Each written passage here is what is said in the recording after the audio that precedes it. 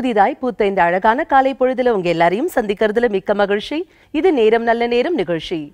ஆயில்ய நட்சத்திரம் மாமனாருக்கு ஆகாது என்பர். ஆம் ஆகாதுதான். என்ன ஆகாது? நோய் நொடி ஆகாது துன்பம் ஆகாது. வருகின்ற மருமகள் மருமகளாய் இருந்து அவரை பேணி பாதுகாப்பாள் என்பதே இதன் மறைபொருள். மூட நம்பிக்கைகளை மூட்டை கட்டி எரிந்து தன்னம்பிக்கை நடை போட்டால் நிறைவான வாழ்வை வாழ முடியாதா என்ன? நிச்சயம் முடியும். அதற்குரிய வழியை உங்களுக்காகவே வரையறுத்து தருவதுதான் நம்ம நேரம் நல்ல நேரம் நிகழ்ச்சியின் சிறப்பம்சமே. இன்னைக்கு நம்ம நிகழ்ச்சியில ஜோதிடம் குறித்த மிக தெளிவான விளக்கங்களை பகிர்ந்துக்கிறதுக்காகவே இங்க வருகை தந்திருக்காரு டாக்டர் பேராசிரியர் பஞ்சநாதன் அவர்கள். உங்களுடைய சந்தேகங்களையும் நீங்க எங்களுக்கு கால் பண்ணி கேட்கலாம். கால் பண்ண வேண்டிய எண்கள் பூஜ்ஜியம் நான்கு நான்கு நான்கு ஐந்து ஒன்பது ஆறு ஒன்பது ஐந்து ஒன்பது ஐந்து. வணக்கம் சார் வணக்கம் மேடம் ஓம் ஸ்ரீம் ஹ்ரீம் க்ளீம் க்ளம் கம் வர வரவரத சர்வஜனமே வசமானாய ஸ்வாகாகா ஆதித்யாய ச சோமாய மங்களாய புதாய ச குரு சுக்ரசனிப்பியச்ச ராகவே கேதவே நமகா. அன்பர்களே உங்கள் வாழ்க்கையில் நீங்கள் சந்திக்கக்கூடிய எத்தகைய பிரச்சனையாக இருந்தாலும் உங்கள் ஜாதக ரீதியாக பரிகாரம் பெற்று பூரண நிம்மதி பெறலாம். அதற்கு வழிகாட்டுவதற்காக வந்திருக்கிறேன். உங்கள் ஆத்மார்த்த ஜோதிடர் நங்கநல்லூர் டாக்டர் பஞ்சநாதன். சார் ஒரு அற்புதமான ஆன்மீக தகவலோட நிகழ்ச்சியை சிறப்பாக துவங்குவோமா சார்? நிச்சயமா. அதாவது நீங்கள் முதல்ல ஆயில்ய நட்சத்திரம் விஷயத்தை சொன்னீங்க. ஆயில்யம் விசாகம் மூலம் இப்படி சில நட்சத்திரங்களை பற்றி நாம் சொல்லிக்கொண்டே இருக்கிறார்கள். அதில் தவறான புரிதல் மக்களுக்கு இருக்கிறது. அதை நம்ம தெளிவுபடுத்த வேண்டியது நம்முடைய கடமை. ஆயிலியத்து மாமியார் ஆச்சந்தியிலேன்னு அர்த்தம். அதாவது அந்த பெண் வந்து ஆயிலியத்தில் உள்ள பெண்ணை திருமணம் செய்து கொண்டால் அவருடைய மாமியார் கைம்பன் விதவையாக ஆகிவிடுவார் என்று ஒரு விதியை இவர்கள் சுட்டிக்காட்டுகிறார்கள். விசாகம் என்று சொன்னால் அது இளைய மைத்துனருக்கு ஆகாது மூலத்தில் திரு பெண்ணை திருமணம் செய்து கொள்ளக்கூடாது. இது எல்லாமே மூட நம்பிக்கைகள். ஜோதிட சாஸ்திரத்திலே இந்த விதமான மூட நம்பிக்கைகளுக்கு எந்த ஆதாரமும் கிடையாது. இப்போ நீங்கள் உதாரணமாக பாருங்கன்னா மூல நட்சத்திரம். இன்றைக்கு மூல நட்சத்திரம் தான் நடந்துகிட்டு இருக்கு. அந்த மூல நட்சத்திரத்தை பற்றி நம்முடைய முன்னோர்கள் சொல்கிற போது ஆணி மூலம் அரசாளும் கன்னி மூலம் நிர்மூலம் அப்படின்னு சொன்னாங்க. ஆணி மாதத்திலே மூல நட்சத்திரத்திலே பிறந்தால் பிறக்கக்கூடிய குழந்தைகள் அரசாடக்கூடிய அளவிற்கு நல்ல கவர்மெண்ட் ஜாப் கிடைக்கும். அது ஆணி மூலம் அரசாளும். அதை இவர்கள் ஆண் மூலம் அரசாளும் அப்படின்னு தப்பா எடுத்துட்டாங்க. கன்னி மூலம் கன்னி மாதம் புரட்டாசி மாதம் மூல நட்சத்திரத்திலே பிறந்தால் அதுதான் நிர்மூலம் நாங்கள் இவங்க என்ன சொல்ற கண்ணினா பெண்ணுன்னு இவங்களே அதை டிரான்ஸ்லேட் பண்ணி ஆகவே பெண் பெண்கள் மூல நட்சத்திரத்திலே பிறந்தால் குடும்பத்துக்கு ஆகாது நாங்க. இப்படி ஜோதிட சாஸ்திரம் சொல்லவே இல்லை. எந்த ஒரு நட்சத்திரத்திலும் நட்சத்திரத்துடைய நான்கு பாதங்களையும் சுட்டிக்காட்டி இந்த நான்கு பாதங்களும் மோசமானவை என்று ஜோதிட சாஸ்திரம் சொல்லலை. அதனால் அந்த விதமான மூடத்தனங்களை விட்டுவிடணும் நீங்கள் நல்லா தொடங்கினீங்க. இன்னைக்கு ஒரு ஆன்மீக தகவல். அதாவது நம்ம குடும்பங்களில் நீண்ட நாட்களாக திருமண தடைகள் இருக்கக்கூடியவர்கள் பலரும் என்னிடம் கேட்கிறார்கள். நம்மளுடைய புதுயுக அன்பர்கள் பலரும் என்னை தொடர்பு கொண்டு கேட்கிறார்கள். எங்கள் குடும்பங்களில் திருமண தடை இருக்கிறது. இப்போ வந்து என்னுடைய மகளுக்கெல்லாம் திருமணத்திலே விருப்பம் இல்லை என்று சொல்கிறார்களே. என் அன்பு மகன் நான் ஆசையாக வளர்த்த மகன் திருமணத்திலே விருப்பம் இல்லை என்று சொல்கிறாரே காலம் இப்படி மாறுகிறது. நாங்கள் இவர்களுக்கு திருமண ஆசை வரவும் எங்கள் வீட்டிலே திருமண தடைகள் நீங்கவும் என்ன வழிகள் என்று கேட்கிறார்கள். அப்படிப்பட்டவர்களுக்கெல்லாம் ஒரு எளிமையான வழியை நம்முடைய முன்னோர்கள் வகுத்தார்கள். உங்கள் வீட்டிலே வீட்டிற்கு பின்புறம் துளசி மாடம் வைக்க வேண்டும். உங்கள் வீட்டில் துளசி மாடம் வைத்துவிட்டு தினம்தோறும் அதற்கு நீர் ஊற்றி வருவீர்கள். ஒரு செடி வச்சோம்னா தண்ணீர் ஊற்றுவது வழக்கம். வியாழக்கிழமையிலே அந்த துளசி செடிக்கு கொஞ்சம் பால் ஊற்றி வர வேண்டும். இது தொடர்ச்சியாக செய்து வந்தால் உங்கள் வீட்டில் எப்படிப்பட்ட திருமண தடையாக இருந்தாலும் திருமண தடைகள் விலகி சுபகாரியம் அருமையாக கூடி வரும். இந்த துளசி வழிபாடு செய்து வாருங்கள். மிகப்பெரிய அளவிற்கு வெற்றி கிடைக்கும் திருமணம் கைகூடும். சரி இப்போ அபார்ட்மெண்ட்ல இருக்காங்களா? அவங்க மொட்டை மாடியில கூட வச்சு பண்ணலாமா சார் தாராளமா மொட்டை மாடியில இன்னைக்கு வந்து காய்கறி செடிகள் வைக்கிறாங்க. வீட்டுக்குள்ளேயே நீங்க அழகா துளசி மாடம் வைக்கலாம். எந்த இடத்திலே வெளிச்சம் வரக்கூடிய பகுதி இருக்கிறதோ அந்த இடத்துல நீங்க துளசி மாடத்தை வச்சு பாருங்க. அந்த வீடு முழுவதுமே ஒரு உற்சாகம் சந்தோஷம் நிறைஞ்சிருப்பதை நம்ம அனுபவபூர்வமாவே பார்க்க முடியும். ரொம்ப நல்லா இருக்கும் பாசிட்டிவ் எனர்ஜி சொன்னீங்க நிச்சயமா. சார் தொடர்ந்து பேசும் நேர இணைப்புல இருக்காங்க. வணக்கம். நேரம் நல்ல நேரம். யாரு பேசுறீங்க? வணக்கம் மேடம். திருச்சியிலேருந்து ராஜாராமன் பேசுறேன் மேடம். சொல்லுங்க சார் இன்னைக்கு யாருக்காக கேட்க போறீங்க? என் மருமகளுக்காக கேட்கணும் மேடம். ஓகே அவங்க பெயர்? பிரியங்காங்க. டேட் ஆஃப் பர்த் பதினேழு எட்டு தொண்ணூத்தி நாலு.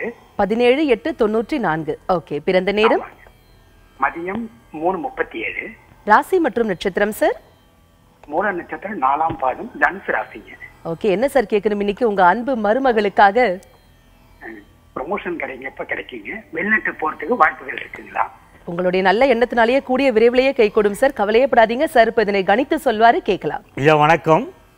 வணக்கம் சார் மருமகள்னு சொல்லக்கூடியது உங்களுடைய மகனுடைய மனைவியை சொல்றீங்களா? இல்ல உங்களுடைய சகோதரியுடைய மகளை சொல்றீங்களா? மருமகள் யார் சொல்றீங்க? மன மனைவியோட மகனோட மனைவி. மனைவி மருமகள். சரி. அதாவது இவங்களுடைய ஜாதகம் எப்படின்னு பார்த்தீங்கன்னா தனுசு லக்னம் தனுசு ராசியில பிறந்திருக்கிறாங்க. அவங்களுக்கு இப்போ சூரிய திசை நடந்துகிட்டு இருக்கு. இவங்களுடைய பாக்கிய ஸ்தானாதிபதியுடைய திசை நடக்கிறது. அற்புதமான ஒரு காலகட்டம். அப்போ இப்போ இவங்களுக்கு ஒரு ஏழரை சனியும் நடக்குது. இப்போ இது இரண்டும் ஒரு கம்பைண்டாக நம்ம பொருள் பார்க்கணும். ஏழரை சனியும் ஒருத்தருக்கு நடக்குது. பாக்கியாதிபதி திசையும் நடக்குது. நல்ல திசையும் நடக்கிறது. ஏழரை சனியும் நடக்குது. இப்போ என்ன பலன் நடக்கும்? இது ஒரு அற்புதமான ஒரு பொருத்தம் இந்த விஷயத்தில். பாக்கியாதிபதியுடைய திசை வேலை செய்யும். இவருக்கு சூரிய திசை வேலை செய்யும். அது இவங்களுக்கு வெளிநாட்டு வாய்ப்பை கொடுக்கும். ஏழரை சனி என்று சொல்கிற போது வெளிநாட்டிற்கு நீங்கள் சென்று விட்டால் அந்த ஏழரை சனி அதிகம் துன்பம் செய்வதில்லை. ஆகவே ஒரு நாடு கடத்திடுது. வேற ஒன்றும் இல்லை ஆகவே இவருடைய மருமகளுக்கு நல்ல முறையில் இப்போ வெளிநாட்டு வாய்ப்பு கூடி வரும். இரண்டாயிரத்தி இருபதாம் ஆண்டு மார்ச் மாதத்திற்குள்ளே இந்த வாய்ப்பு கூடி வரும் என்று ஜாதகத்திலே இருக்கிறது. நீங்க என்ன பண்ணணும் அப்படின்னு கேட்டிங்கன்னா வில்வத்தினாலே இரண்டு பிரதோஷ காலங்களிலே சிவனுக்கு அர்ச்சனை செய்ய சொல்லுங்க உங்களுடைய மருமகள்கிட்ட. பிரதோஷ நேரத்திலே சிவபெருமானுக்கு வில்வத்தினால் அர்ச்சனை செய்தார் அற்புதமாக அவருடைய கனவு நனவாகும். அவருடைய கனவு மெய்ப்பட என்னுடைய வாழ்த்துக்கள். சார் கொளுத்துற கோடை வெயில்ல எங்க மனசெல்லாம் குளு குளுன்னு குளிர்ற மாதிரி பணமழை எங்க வீட்ல கொட்டோ கொட்டுன்னு கொட்டணும் சார். அதற்கு ஒரு வழிமுறை கொடுங்க. அதாவது எனக்கு வள்ளலாருடைய ஒரு பாடல் ஞாபகத்திற்கு வருகிறது. கோடையிலே இழைப்பாற்றி கொள்ளும் வகை கிடைத்த குளிர் தருவே தரு நிழலே நிழல் கனிந்த கனியே அப்படின்னு சிதம்பரத்து ஈசனை பாடக்கூடிய பாடல். நீங்க இந்த கோடை மழையை சொன்னோடனே எனக்கு அதான் ஞாபகம் வருகிறது. நல்ல பணமழை பொழிவதற்கு என்ன செய்யலாம் அப்படின்னா ஆதிசங்கரர் கனகதாரா சோஸ்திரம் சொன்னார். ஆனால் நடைமுறை வாழ்க்கையில் அந்த சோஸ்திரம் சொல்லக்கூடியவர்களுக்கு நல்ல வெற்றி தெரியும். உங்கள் வீட்டில் நீங்கள் பின்பற்றக்கூடிய ஒரு எளிமையான வழிமுறையை நான் சொல்ல போகிறேன் நல்ல பணமழை பொழிவதற்கு செய்து பார்த்ததுடைய நன்மைகளை சொல்லுங்கள் மகிழ்வேன். நீங்கள் என்ன செய்யணும் கேட்டிங்கன்னா பச்சை கற்பூரத்தை பயன்படுத்தணும். உங்கள் வீடுகளில் என்ன செய்யலாம்? வெள்ளிக்கிழமைகளிலே தீபம் ஏற்றுங்கள். தினந்தோறும் தீபம் ஏற்றணும். வெள்ளிக்கிழமை ஏற்றுகின்ற தீபத்திலே கொஞ்சம் பச்சை கற்பூரத்தை இந்த தீப எண்ணெயில் நீங்கள் சேர்த்துக்கிடணும் இது எதுக்குன்னு கேட்டிங்கன்னா வழக்கமான கற்பூரத்தை நான் சொல்லலை பச்சை கற்பூரத்தை சொல்கிறேன். நீங்கள் கோயில் தீர்த்தங்களில் பார்த்தீங்கன்னா கூட கொஞ்சம் பச்சை கற்பூரம் கலந்திருப்பார்கள். கோயில் பிரசாதங்களில் எல்லாம் பச்சை கற்பூரத்தை கலப்பார்கள். அதற்கு ஒரு தெய்வாம்சம் உண்டு. ஆகவே அந்த பச்சை கற்பூரத்துடைய அந்த மகத்துவத்தை புரிந்து கொள்ள வேண்டும் நேயர்கள். அது லேசாக ஒரு மிக குறைவான ஒரு குண்டூசி அளவிற்கு போதும். கடுகளவிற்கு போதும். அந்த பச்சை கற்பூரத்தை உங்கள் வீட்டிலே எரியக்கூடிய தீபத்திலே எண்ணெயிலே கலந்து அதை நீங்கள் தீபம் ஏற்றி வந்தால் வெள்ளிக்கிழமைகளிலே செய்து வந்தால் கூடவே நீங்கள் அன்னபூர்ணாஷ்டகம் ஸ்லோகம் சொல்லணும். அப்படி சொல்லி கொண்டு வந்தால் நல்ல பணமழை பொழியும். இப்பொழுது அன்பு சகோதரிக்கு ஒரு கேள்வி கேட்பீங்க. அன்னபூர்ணாஷ்டகம் சொல்ல இயலாதவர்கள் என்ன செய்யலாம்? என்று கேள்வி கேட்பீர்கள். அதாவது அன்னபூர்ணாஷ்டகம் சொல்ல முடியவில்லை என்று சொன்னால் ஓம் அன்னபூரணியே நமகா இந்த மந்திரத்தை சொன்னால் போரும். தமிழிலே ஓம் அன்னபூரணியே போற்றி என்ற மந்திரத்தை சொன்னாலும் போதுமானது. நூற்றி எட்டு முறை இந்த மந்திரத்தை சொல்லுங்கள். அந்த தீப எண்ணெயிலே சிறிது பச்சை கற்பூரத்தை போட்டுவிட்டு தீபம் ஏற்றி ஓம் அன்னபூரணியே போற்றி என்று நூற்றி எட்டு முறை சொல்லி வந்தால் இயன்றவர்கள் அன்னபூர்ணாஷ்டகம் சொல்லி வந்தால் மிகச் சிறந்த முறையிலே பொருளாதார வளர்ச்சியை நீங்கள் அடைவது உறுதி. ஒரு நல்ல வாழ்க்கையை கண்முன்னாலே நீங்கள் காணலாம். வளமான வாழ்க்கைக்கு தேவையான வரம் போன்ற தகவல் சொன்னீங்க சார். தொடர்ந்து பேசுவோம். நேர இணைப்புல இருக்காங்க. வணக்கம். நேரம் நல்ல நேரம். யாரு பேசுறீங்க? Hello madam. சந்திரா பேசுறேன் மேடம். திருச்சி மாவட்டத்துலேருந்து பேசுறேன் சந்திராமா சொல்லுங்க. இன்னைக்கு யாருக்காக கேட்க போறீங்க? பையனுக்கு திருமணம் எப்போ கிடைக்கும்? வேலை எப்போ கிடைக்கும்னு பார்க்கணும் மேடம். ஓகேமா உங்க மகனுடைய பெயர்? R Santhosh. Date of birth பதினேழு ஒம்பது ஆயிரத்தி தொள்ளாயிரத்தி எண்பத்தி ஆறு. பதினேழு ஒன்பது ஆயிரத்தி தொள்ளாயிரத்தி எண்பத்தி ஆறு. ஆமாம் ஓகேமா பிறந்த நேரம்? மாலை ஆறு முப்பத்தி ஒம்பது ராசி மற்றும் நட்சத்திரமாம்மா? ராசி கும்பராசி நட்சத்திரம் பூரட்டாதி ஒன்றாம் பாதம். ஓகே திருமணம் மற்றும் வேலை குறித்து தெரிஞ்சுக்கணும் இல்லைங்களா? சார் இப்போ கணித்து சொல்வாரம்மா கேட்கலாம். அம்மா வணக்கம்மா. வணக்கம் சார் திருச்சியில் எங்க இருக்கீங்க? முசையில மகிழ்ச்சிமா நீங்க உங்க பையன் என்ன படிச்சிருக்காருமா பிஹெச்டி பண்ணிட்டு இருக்காரு சார் என்னம்மா? பிஹெச்டி பண்ணிட்டு இருக்காரு சார்? பிஹெச்டி பண்ணிட்டு இருக்காரா? ஆமாங்க சார். சரிங்கம்மா என்ன துறையில பண்றாருமா காலேஜ் ப்ரொஃபஸர் லைன் சார். சரிம்மா. என்ன டிபார்ட்மெண்ட்டுமா அதான் கம்பெனி காலேஜ் டிபார்ட்மெண்ட் பெங்களூர்ல பண்ணிட்டு இருக்காருங்க சார். சரிங்கம்மா. அதாவது இவருடைய ஜாதகம்மா இவர் பிறந்திருக்கிறது மீன லக்னத்துல பிறந்திருக்கிறாரு. கும்ப ராசியில பிறந்திருக்காருமா அதாவது இவருக்கு என்ன ஆகுதுன்னா லக்னத்திலிருந்து பன்னெண்டாம் இடத்துல ராசி மறைஞ்சிருச்சு. குடத்துல ஏத்தின விளக்கு மாதிரி அவருடைய வாழ்க்கை இருந்துகிட்டே இருக்கு. வெளிச்ச வெளியே தெரிய மாட்டேங்குது. இவருக்கு என்ன ஒரு விஷயம் அவர் பண்ணிக்கிடணும் அப்படின்னு கேட்டீங்கன்னா மேதா தட்சிணாமூர்த்தி மந்திரங்களை சொல்லணுமா? இந்த மேதா தட்சிணாமூர்த்தி மந்திரத்தை அருகில் உள்ள கோயில்ல அர்ச்சகர்கிட்ட கேட்டு தெரிஞ்சுக்கணும். எல்லா மந்திரங்களையும் நாங்கள் இந்த தொலைக்காட்சி வாயிலாக சில இடங்களில் சொல்லக்கூடாது. அதனால அருகில் உள்ள கோயிலிலே நீங்கள் அர்ச்சகரை அணுகி மேதா தட்சிணாமூர்த்தி மந்திரத்தை தெரிந்து கொண்டு ஒவ்வொரு வியாழக்கிழமையும் உங்களுடைய அன்பு மகன் அது வாழைப்பழத்தை கையில் வச்சுக்கிட்டு அந்த மந்திரத்தை உருவேற்றி அந்த பழத்தை சாப்பிட்டு கொண்டு வந்தால் நல்ல முறையிலே அவருக்கு வாழ்க்கையிலே மேன்மைகள் உருவாக்கும் எந்தெந்த துறையிலே முன்னேற்றத்தை உருவாக்குறாரோ அந்த துறையிலே முன்னேற்றம் நல்ல வேலை வாய்ப்பு ஏற்படும். அந்த மேதா தட்சிணாமூர்த்தி மந்திரத்துக்கு அப்படி ஒரு சக்தி. உங்களுடைய அன்பு மகனுடைய திருமணத்தை பற்றி கேட்டீர்கள். இவருடைய ஜாதகத்திலே மிக கடுமையான நாகதோஷம் இருக்கிறது. ஒரு முறை எங்களை நேரிலே சந்திக்க உங்களுடைய அன்பு மகனுக்கு அறிவுரை கூறுங்கள். அவருடைய வாழ்க்கை வளமாக வழிகாட்ட நாங்கள் காத்திருக்கிறோம். வாழ்த்துக்கள்மா அழைப்பிற்கு நன்றி. சார் இந்த மந்திரங்கள் ஸ்லோகங்கள்லாம் சொல்றதுனால வாழ்க்கையில மாற்றங்கள் ஏற்படுமா சார்? நிச்சயமா. அதாவது மிகப்பெரிய ஆபத்துக்கள் கூட இந்த ஸ்லோகங்கள் சொல்வதனால விலகுது. லலிதா சகசரநாமம் இருக்கு பாருங்களேன். அற்புதமான ஒரு ஸ்லோகம். பெண்களுக்கு ஏற்படக்கூடிய மிகப்பெரிய ஆபத்துக்கள் இருந்து காக்கக்கூடிய ஆபத்துத்தாரண ஸ்லோகம் அது. மிகப்பெரிய ஆபத்துக்குள்ள கூட விளைக்கிறோம். அந்த லலிதா சகசரநாமத்தை பெண்கள் சொல்லி வரணும். அதே மாதிரி நம்ம வீடுகளில் இந்த குழந்தைகள் நல்லா படிக்கணும் அப்படின்னு சொல்லும்போது விஷ்ணு சகசரநாமம். அதை கேட்டுக்கிட்டு வரணும். முதல்ல நம்ம சொன்னாலே பலன். ஆனால் நம்ம சொல்வதற்கு எல்லாருக்கும் தெரியலை அப்படின்னா வீட்டில் அந்த ஸ்லோகத்தை போட்டு கேட்டுட்டு வரணும். அப்படி கேட்க கேட்க மிகச்சிறந்த பலன்கள் உருவாகும். என்ன திசை நடக்கிறதோ அந்த திசையுடைய மந்திரங்கள் ஸ்லோகங்களை சொல்லி வந்தால் அந்த திசை அற்புதமாக வேலை செய்யும் நன்மைகள் தரும். எப்படிப்பட்ட பிரச்சனைகளாக இருந்தாலும் பரிகார மந்திரங்களாக இந்த மந்திரங்களை பயன்படுத்துகிற போது அந்த மந்திரங்கள் நமக்கு மேன்மை தருது. அப்போ நமக்கு ஒரு சந்தேகம் வருது. நாங்கள் வீட்டில் ஸ்லோகம் சொல்லிட்டு தானே சார் இருக்கோம். பலர் கேட்குறாங்க நான் சொல்லாத ஸ்லோகம் இல்லை. எல்லா ஸ்லோகத்தையுமே நான் சொல்கிறேனே. எனக்கு பலன் இல்லையே அப்படின்னு சொல்கிறாங்க அதாவது உங்களுக்கு ஏற்ற ஸ்லோகம் எது? அதை கண்டுபிடிக்கணும் முதல்ல. அவரவர் ஜாதகங்களில் இருக்கும். அந்த ஸ்லோகத்தை கண்டு உணர்ந்து குருமுகமாக அந்த ஸ்லோகத்தை கற்றுக்கொள்ளணும். நாம ஏகலைவர்களாக இருப்பதை விட குருமுகமாக அந்த ஸ்லோகத்தை கற்றுக்கொண்டு ஒரு ஆச்சாரியார் ஒரு குரு அவரிடம் சென்று இந்த ஸ்லோகத்தை நாம் கற்றுக்கொண்டு பிறகு சொல்ல ஆரம்பித்தோமானால் அந்த முறைப்படியான விஷயங்களை சொல்வார்கள். எப்படி அதை எந்த நேரத்தில் சொல்லணும்? உங்கள் ஜாதகப்படி எந்த நேரத்திலே சொன்னால் இது பலன் தரும் என்று ஒரு கணக்கு இருக்கிறது. நீங்கள் ஒரு அரசு அலுவலகத்திற்கு செல்கிறீர்கள் காரியமாவதற்காக செல்கிறீர்கள். அரசு அதிகாரியை பார்க்க வேண்டும். நான் இரவிலே ஒன்பது மணிக்கு அரசு அலுவலகத்திற்கு சென்றேன். அலுவலகம் பூட்டி கிடந்தது. நான் என்ன செய்வது என காரியமே நடக்கல. என்ன கவர்மெண்ட் ஆபீஸ்னு கேட்கக்கூடாது. அது எந்த நேரத்திலே திறந்திருக்குமோ அப்பதான் பார்க்க போகணும். பகல்ல சந்திரனை பார்க்க போகக்கூடாது. இரவிலே சூரியனை பார்க்க போகக்கூடாது. இல்லையா? அதை போல நாம் வந்து எந்த நேரத்திலே இந்த ஸ்லோகத்தை சொல்லணும்னு இருக்கு அந்த நேரம் காலம் அறிந்து குருமுகமாக உபதேசம் பெற்ற ஸ்லோகங்களை சொல்கிற போது அற்புத பலன்களை அள்ளித்தரும். சார் அந்த காலத்து மகான்கள் ரிஷிகள்லாம் பாத்தீங்கன்னாக்க ஒவ்வொருத்துக்கும் ஒவ்வொரு முத்திரைகள் தனிப்பட்ட முத்திரைகள் வச்சிருப்பாங்க சார் இந்த முத்திரைகளை பயன்படுத்துவதால நம்ம வாழ்க்கையில எப்படிப்பட்ட மாற்றங்கள் ஏற்படும்? நாம காமனா டே டு டே லைஃப்ல காமன் மேன் எந்த முத்திரையை பயன்படுத்தினால் சிறப்பான வாழ்க்கை கிடைக்கும். அதாவது முத்திரை பதித்த மனிதர்கள்னு வாழ்க்கையில் சொல்லுவாங்க. முத்திரைகள் மிக மிக முக்கியம். தாந்திரீகத்தில் சில இந்த முத்திரைகளை அதிகமாக பயன்படுத்துகிறோம். நீங்கள் இன்னும் கூட பார்க்கலாம் நம்முடைய பரத கலையிலே இந்த அபிநயங்கள் பிடிக்கிற போது இந்த முத்திரைகளுக்கு அவங்க கொடுக்கக்கூடிய முக்கியத்துவம் உங்களுக்கு தெரியாது இல்லை நீங்கள் நாட்டிய தாரகையாக இருப்பதனால உங்களுக்கு தெரியும்.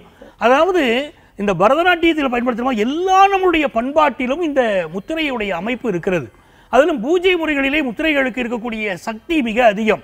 இதில் பார்த்தீங்கன்னா முத்திரைகள் என்று சொல்லக்கூடியது பஞ்சபூத தத்துவங்களை அடிப்படையிலே சொல்லப்படுகிறது.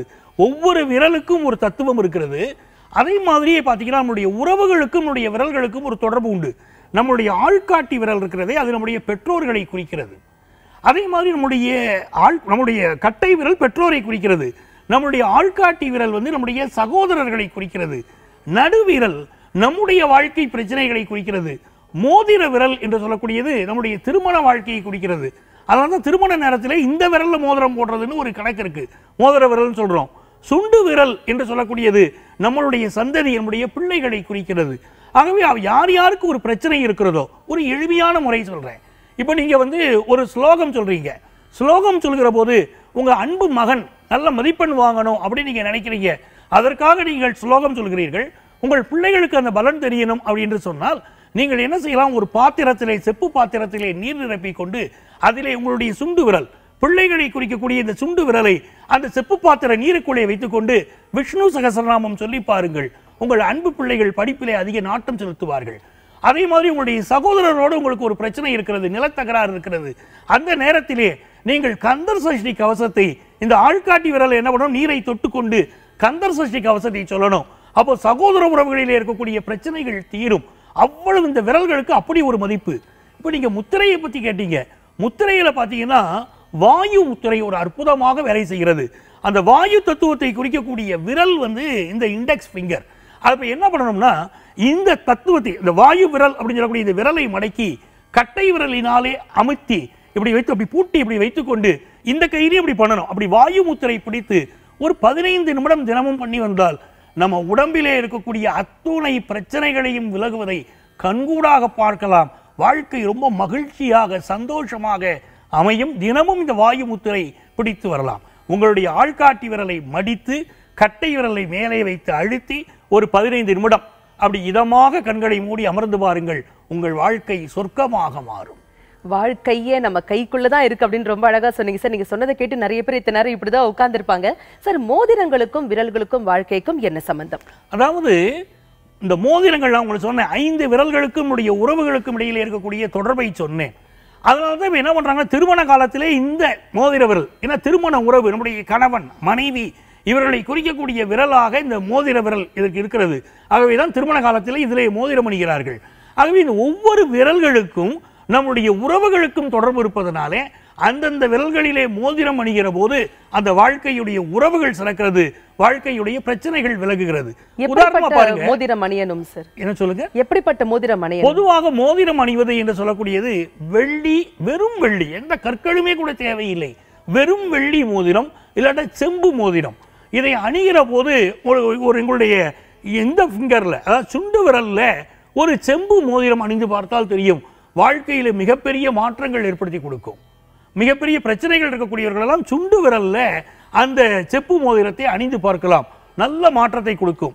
கணவன் மனைவி உறவிலே பிரச்சனைகள் இருக்கக்கூடியவர்கள் இந்த மோதிர விரலிலே ஒரு வெள்ளி மோதிரம் எந்த கல்லும் பதிக்காத மோதிரம் கூட நீங்கள் அணியலாம். எனக்கு வாழ்க்கையில் வசதி இல்லையே நான் கற்கள் அணிந்த நவரத்தன மோதிரங்களை அணிய முடியாதே என்று சொல்லக்கூடியவர்கள் வெறும் வெள்ளி மோதிரத்தை இந்த மோதிர விரலிலே அணிந்தால் அவர்களுக்கும் அது மிகப்பெரிய மாற்றத்தை கொடுக்கும். நீங்க தங்கத்தில் அணியணும் வைரத்துல தான் அணியணுங்கிறது இல்ல. வெறும் வெள்ளி பல அற்புதங்களை செய்யும். அற்புதமா சொன்னீங்க சார். சார் அதே மாதிரி செய்வினை கந்திஷ்டி இந்த மாதிரி பிரச்சனைகள் இருக்கு இல்லைங்களா? இதனை அகற்றக்கூடிய ஒரு பாதுகாப்பு வளையமா இருக்கக்கூடிய ஒரு வழிமுறை ஒரு முத்திரை அல்லது மோதிரம் சொல்லுங்க. அதாவது இதற்கு இதையெல்லாம் விட மிக எளிமையான வழி இருக்கு. நான் ஒரு வெள்ளி மோதிரம் என்று சொன்னால் கூட நம்முடைய அன்பர்கள் வாங்குவதற்கு கொஞ்சம் பொருளாதார செலவு ஆகும். ஒரு எளிமையான வழிமுறையை சொல்கிறேன். நம்முடைய ஊர்களில் பார்த்தீங்கன்னா கும்பாபிஷேகம் நடத்துவார்கள். அந்த கும்பாபிஷேகத்தின் போது போது கோபுரத்தின் மேல் இருக்கக்கூடிய கலசங்கள் இருக்குது பார்த்தீங்களா? அந்த கலசத்திலே ஒரு அற்புதமான ஒரு இயற்கை பொருளை சேர்ப்பார்கள். அது என்ன ஆகுதுன்னா இந்த மின்சார சக்திகள் போல எந்த எனர்ஜி வந்தாலும் அவங்க கீழே வந்து செப்பு கம்பி அணைச்சிருக்காங்க கோயில் கோபுரத்திலிருந்து. அது மின்கடத்தியாக பயன்படுகிறது. அதை போல வரக்கூடிய இடிகளை தாங்கக்கூடிய சக்தியை எல்லாம் அவர்கள் அந்த கலசத்தில் இடக்கூடிய ஒரு பொருள் தான் அந்த இடிகளை தாங்குகிறது. மிகப்பெரிய நெகட்டிவ் எனர்ஜி எல்லாம் விளைக்கிறோம். அதன் பெயர் கருங்காலி. கருங்காலி மரத்துடைய ஒரு குச்சியை எடுத்து வைத்துக் கொள்ள வேண்டும். அந்த குச்சியை வந்து உங்களுடைய வீட்டின் பூஜை அறையிலே வைத்து பாருங்கள். எப்படிப்பட்ட நெகட்டிவ் எனர்ஜியாக இருந்தாலும் அது விலகும். வாழ்க்கையில் இருக்கக்கூடிய எந்த துன்பமாக இருந்தாலும் அது சகோதர உறவில் பிரச்சனையாக இருக்கலாம் பங்காளி பிரச்சனைகளாக இருக்கலாம் கணவன் மனைவி பிரிவாக இருக்கலாம் ஏன் செய்வினையாக கூட இருக்கலாம். எப்படிப்பட்ட துன்பமாக இருந்தாலும் உங்களுடைய வீட்டிலே கருங்காலி மரத்துடைய ஒரு குச்சியை உங்களுடைய பூஜை அறையிலே வைத்து பாருங்கள்.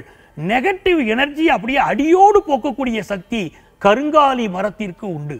ஆகவே இதில் வந்து வழிபடக்கூடிய பல மந்திரங்கள் இருக்குது அந்த சூட்சமங்களை இதனுடைய பொது நிகழ்ச்சியிலே பேச முடியாது. ஆகவே கருங்காலி மர குச்சியை பூஜை அறையிலே வைத்து தீபம் ஏற்றி வழிபட்டால் ஒளிமயமான வாழ்க்கை உருவாகும். எதிரிகள் இல்லாத வாழ்க்கை செய்வினையை விரட்டக்கூடிய சக்தி உருவாகும். வரம் போன்ற தகவல் சொன்னீங்க சார். தொடர்ந்து பேசும் நேர இணைப்புல இருக்காங்க. வணக்கம். நேரம் நல்ல நேரம். யாரு பேசுறீங்க? ஹலோ. வணக்கம்மா யார் பேசுறீங்க? நான் மதுரையில இருந்து சித்ரா பேசுறேன். சித்ராமா சொல்லுங்க. இன்னைக்கு யாருக்காக கேட்க போறீங்க? என் ஹஸ்பண்ட்காக கேட்கணும். ஓகே அவருடைய பெயர்? பேர் பால்ராஜ்.